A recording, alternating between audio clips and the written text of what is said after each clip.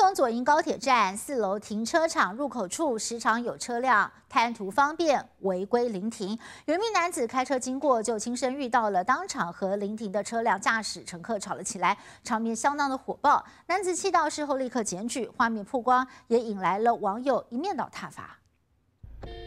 先按了一下喇叭提醒前面修旅车违规挡路了，没想到却似乎没有用。一连三声喇叭，外加闪大灯示意，结果前方修旅车不但没动，驾驶还趁机下车换人开。这也不能停停啊！你在停什么？好好讲就好，先开闸。我只讲话比较大声呐。啊，你别看到我前面有一台挡道，我怎么出去？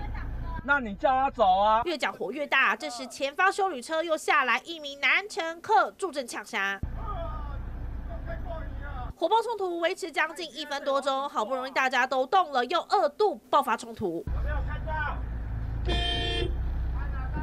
事发就在十五号晚间九点多，一名男子载人来到高雄左营高铁站四楼停车场入口处，一旁明明就是红线，前方修旅车却疑似贪图方便临停换驾驶，双方当场吵了起来。男子气不过也立刻线上检举，而画面在网络曝光，则是引发网友一片倒抨击，直呼真的是有样学样，交通乱象。而实际回到左营高铁站直击，不少车辆涌进来，还是会偷吃不违规临停。也许可以绕一下，一定要等到这边，可能我们国人大家素养可能还没到那里。截至十八号，外环违规临停已经开出三百一十三张罚单。尽管警方当下没接获报案，不过不积极也不加强取缔，违规情形不断上演。要是酿成意外，民众质疑声浪恐怕接连而来。记者高雄做不到。